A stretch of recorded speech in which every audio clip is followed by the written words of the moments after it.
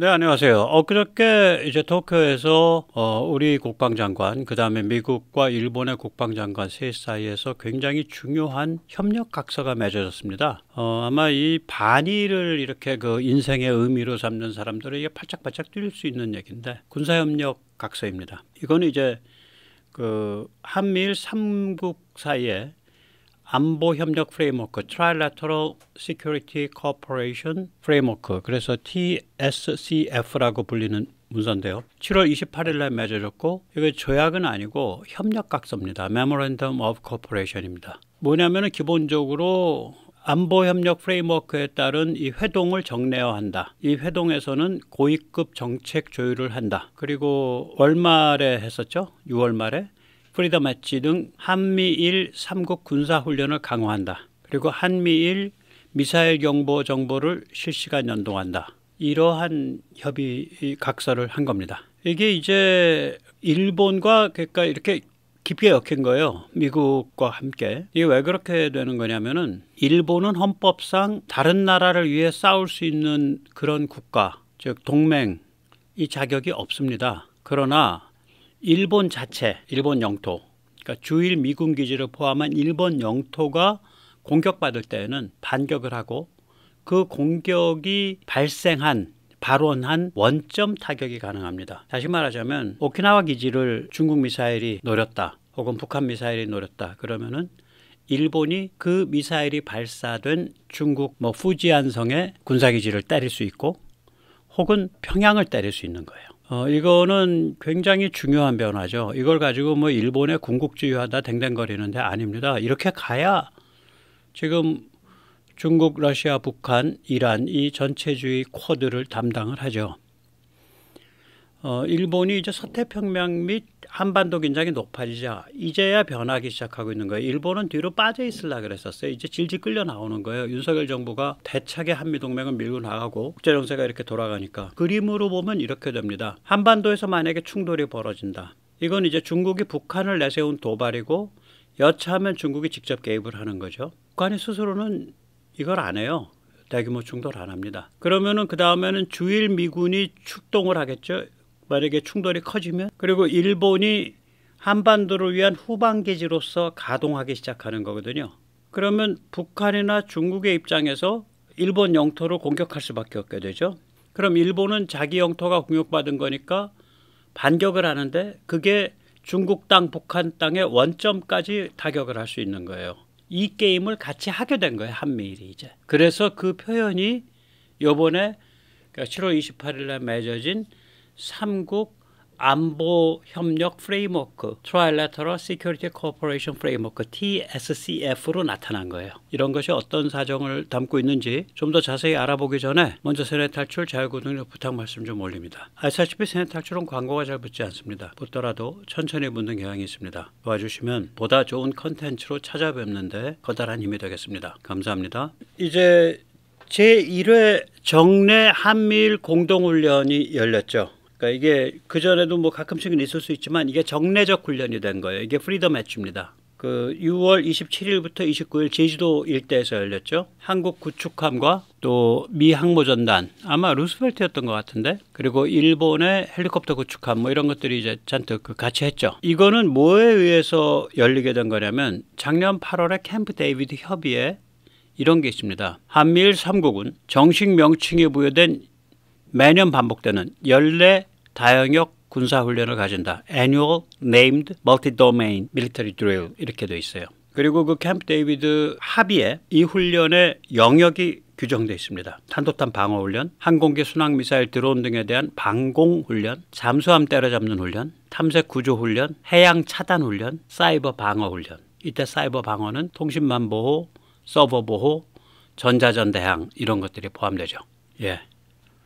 그것에 의해서 6월 말에 Freedom Edge 제1회 Freedom Edge가 열렸고 이게 이제 내년에도 열리는 거죠. 그리고 그것에 곧바로 이어가지고 7월 말에 어, 도쿄에서 삼국 국방장관이 그러니까 삼국 안보 협력 framework라는 어, 각서에 이제 그 협력 각서에 서명을 한 거예요.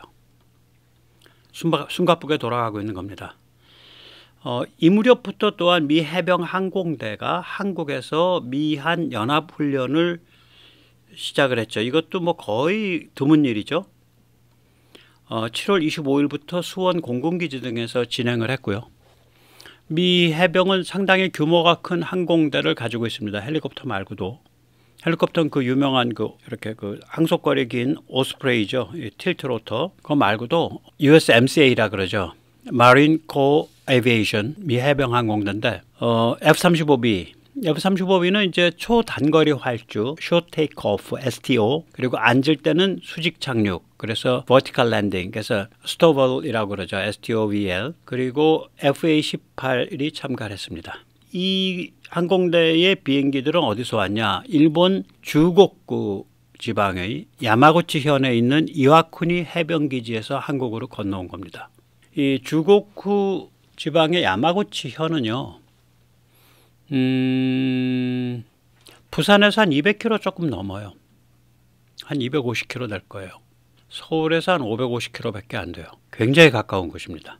야, 이와쿠니 해병 기지는요, 현재 주일 미군 중 유일하게 F-35 계열, 물론 F-35A랑은 완전히 다른 비행기라고도 말할 수 있는데 아무튼 F-35란 이름이 들어가 있으니까 F-35B를 운용하는 데입니다. 다른 데는 미 주 주 나중에 또 말씀드리겠지만 주일 미 공군 아직까지 F-35A 운영하지 않습니다. 그러면 미 해병 항공대가 한국에 와서 건너와서 훈련을 했다? 이 얘기는 뭐냐면 북한과 중국한테 여차하면 주일 미 해병대가 강습한다. 그건 강력한 메시지입니다. 무지하게 강력한 메시지입니다. 주일 미 해병대가 작은 규모가 아닙니다. 일본 곳곳에 10개 기지를 갖고 있고요. 해병대 사령부는 오키나와 캠프 포스터고요. 규모는 18,000명입니다.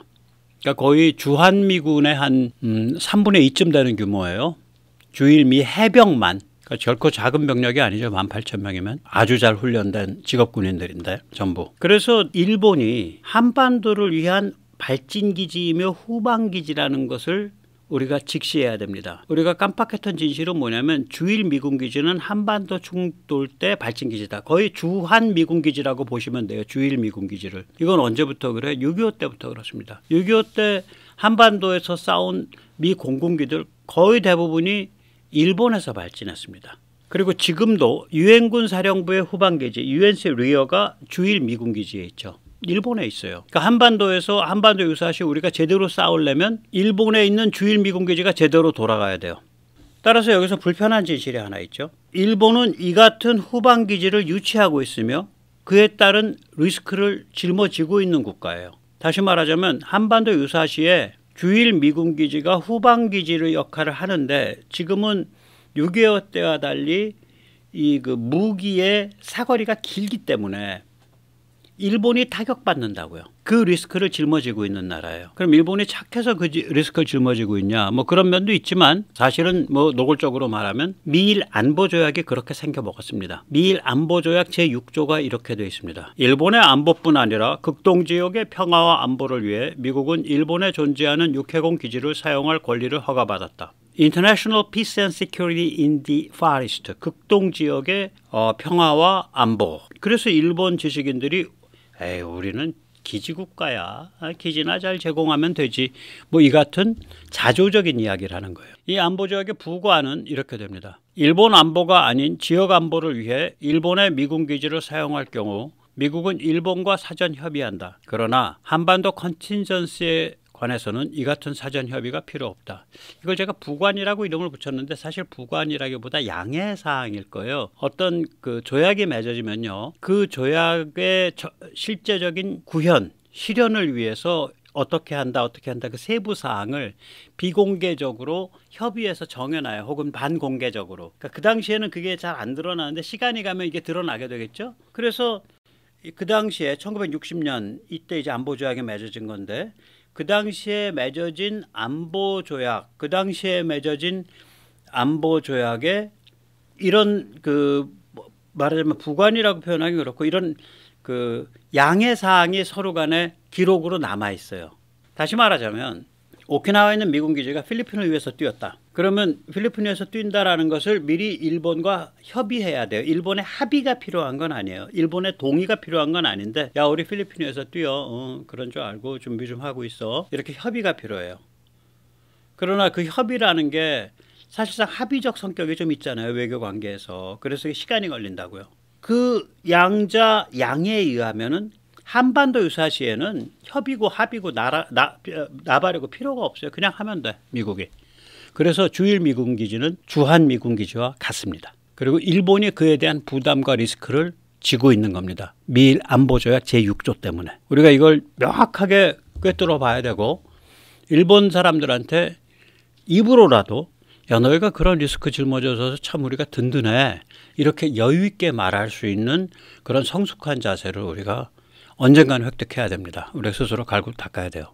말이라도 그 뭐 박박 긁어서 야 너희 인색한 놈들 말이야 응? 얌전한 고양이가 부뚜막에 올라가 있는다고 말이야 어? 한반도에서 전쟁 벌어지면 뒤로 빠져가지고 돈 벌라고 하다가 이제 그렇게 안 돼서 말이지 이제 기술이 달라지고 전쟁 개념이 달라져서 한꺼번에 다 같이 불구, 불구덩이 들어가게 생겼네 어? 너희 참 잘됐다 우리 불구덩이 가면 같이 가자 뭐 이렇게 얘기하면 안 되죠 얼마나 싸가지 없어요 야비하고 야박하죠 말이라는 게 아다르고 어다른데 뭐 조국 씨 같으면 그렇게 얘기하는 거 좋아할 거예요 그리고 그거를 반일 민족 정신, 민족의 자긍심, 자존심이라고 아마 생각하실 분이죠. 예. 자, 그래서 이제 주일 미군 기지가 한, 한국을 위한 거다라고 생각을 하면 야 주요 기지, 주요 근거지가 어디 있어? 좀 알고나 살자. 우리가 한번 뚫레뚫레 봐야 될 거 아니에요. 어, 그러려면 이제 이게 지리에 대한 거라서 일본의 지리를 알아야 되는데 일본 지리를 알려면요. 이 그 도도부현이라 그러죠. 일본 행정지 행정지리만 갖고는 잘 몰라요. 어, 일본 행정지리는 1도, 1도, 2부 43현이거든요. 그래서 1도는 도시도자 써가지고 그 저기 뭐야 그 도쿄도를 가리키고요. 도쿄 지역, 도쿄 특별 지역이죠. 그 다음에 또 하나 1도는 어 저기 뭐야 섬도자 써서 홋카이도를 가리켜요. 2부는 일본의 뿌리죠. 그래서 교토부, 오사카부, 간사이 지방. 어, 그리고 나서 사, 나머지는 그러니까 우리 개념으로는 그러니까 광역이라는 게 없는 거예요. 전부 현이에요. 43현. 그러니까 도도 부현 1도 1도 2부 43현. 그래서 행정체계에는 지방이라는 개념이 없어요. 우리랑 비슷하죠. 우리 어디 행정체계 영남 없잖아요.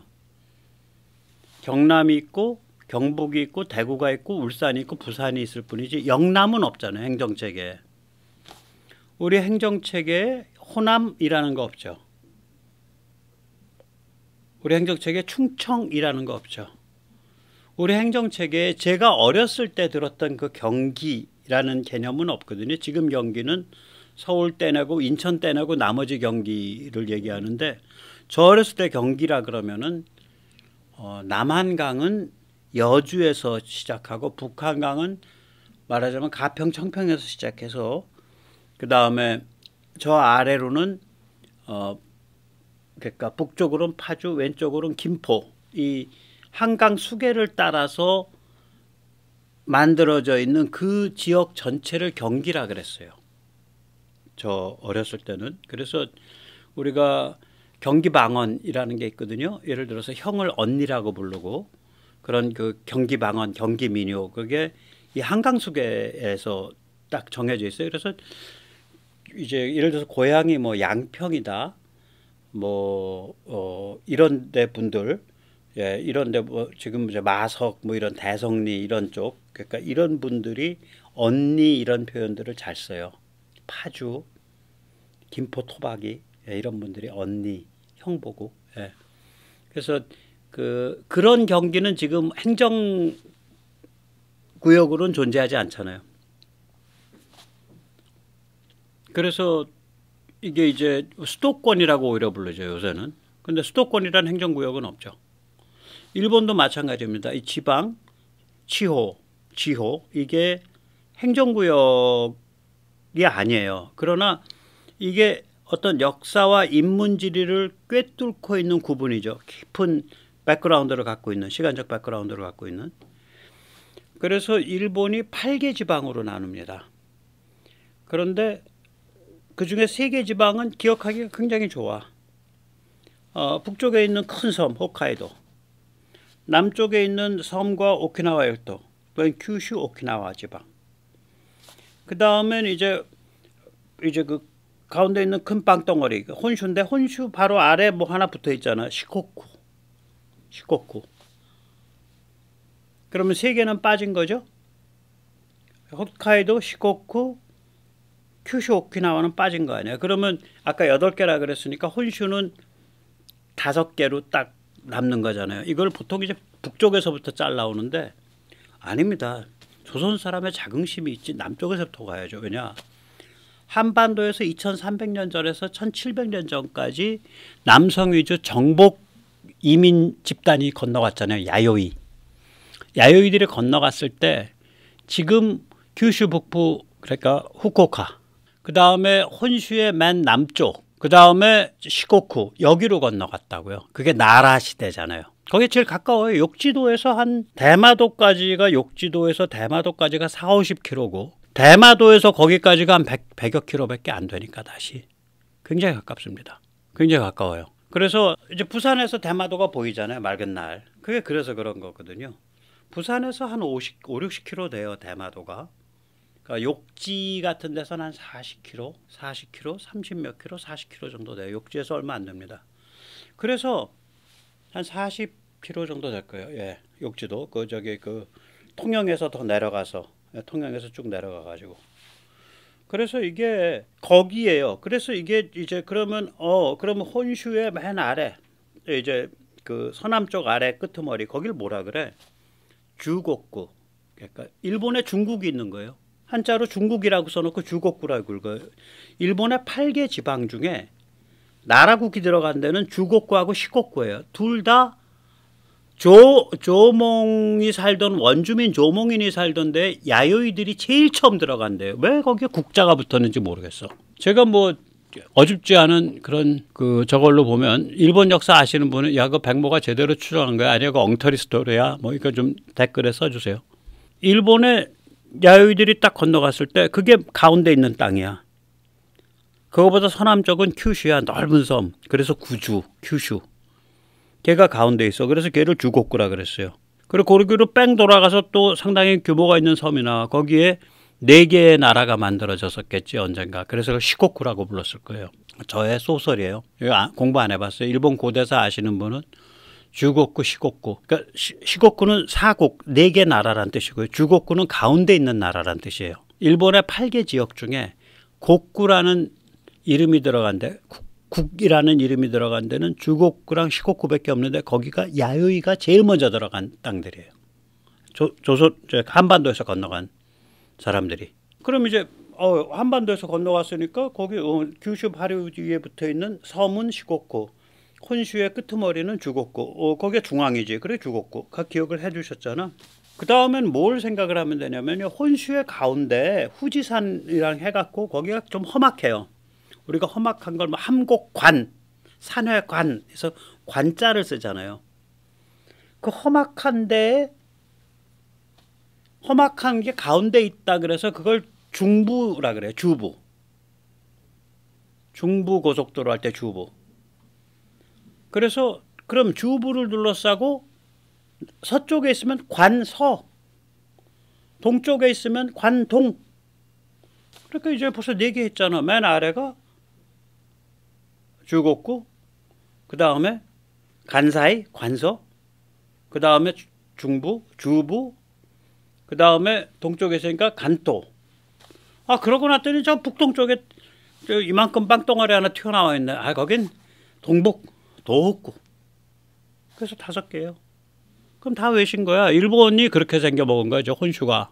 혼슈랑 저 8개 지역이. 그러면 임, 아, 일본의 인문 지리에 대한 기본이 이제 쌓인 거죠. 그럼 이제 여기서 우리가 이제 일본에 있는 주1 미군 기지가 한반도 방어에 아주 핵심적이다라고 우리가 생각을 하면 그리고 한반도가 위험한 만큼이나 거기도 위험하다라고 생각을 하면 네 무슨 생각이 드냐 오키나와 큐슈 주곡구 지방은 한반도 안보와 직결돼 있어요 거리로 보나 해상 루트로 보나. 오키나와는 거리는 좀 떨어져 있지만 해상 루트니까. 큐슈 주고쿠는 거긴 뭐 야요이가 들어가서 제일 먼저 자리 잡은다니까. 그래서 기질도 어, 큐슈 주고쿠 기질은 한반도 사람 기질이랑 거의 같아요. 그래서 하는 말이 있어.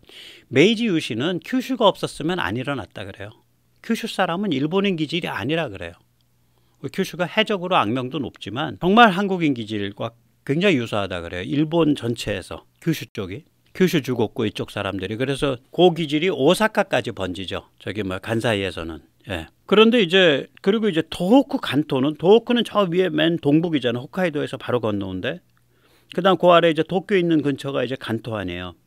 도호쿠 간토는 뭐냐면 동해 방어와 최종 후반 근거지예요. 여기는.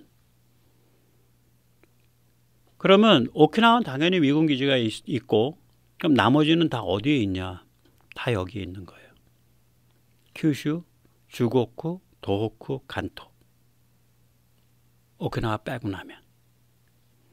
그러니까 이게 일본에 있는 주1 미군 기지가 한반도 방어와 직결돼 있다니까요. 그리고 한반도에서 사단이 벌어지면 반드시 공격 목표가 되는 데인데 따라서 일본 자체도 공격 목표가 되는 거예요. 그래서 그 서울대 무슨 김현철인가 뭔가 하는 이상한 교수 아 일본이 지금 속으로 다 계산해 갖고요.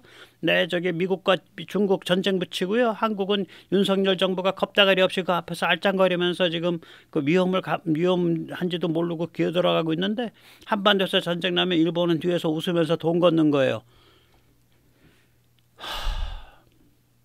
군사지리에 기억자도 모르는 소리예요. 73년 전, 74년 전, 6.25 때는 일본까지 저게 안 미쳐요. 꽹과리랑 진 가지고 싸웠는데 무기가 지금은 일본까지 미치고 남죠. 중국 무기가. 북한 무기도 일본까지 미치고 북한이 괌, 괌과 하와이까지 때리겠다고 지금 징징대고 있는데 그래서 말이 되는 소리를 하는지 김 교수님은 그러니까 좋게 생각해주면 학자로서 굉장히 그 일본에서 공부하면서 어떤 그 시야가 좁아지신 분이고 자기 그 경제 쪽일 공부를 하셨을 거예요. 나쁘게 생각하면 좀 간첩스럽고 뭔지 모르겠어요. 전 뭐 모셔다가 제가 신문을 해본 적이 없어서 제가 신문하면 좀 독하게 합니다. 제가 옛날에 대공수사 분실이나 안기부 보안사에서 좀 독하게 신문을 받아서 예, 80년대 초 예, 그래서 어, 저는 그런 업보를 지고 싶지 않거든요. 예, 그런 자리에 있다 그래도.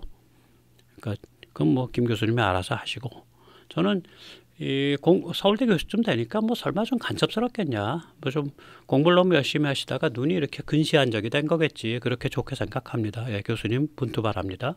예.